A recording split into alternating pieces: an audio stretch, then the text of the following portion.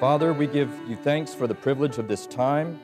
We desire to honor you at this marriage union that is about to take place. We acknowledge your sovereignty in joining these two together for your purposes. We ask for your love, joy, and peace concerning this union. In Christ's name we pray. Amen.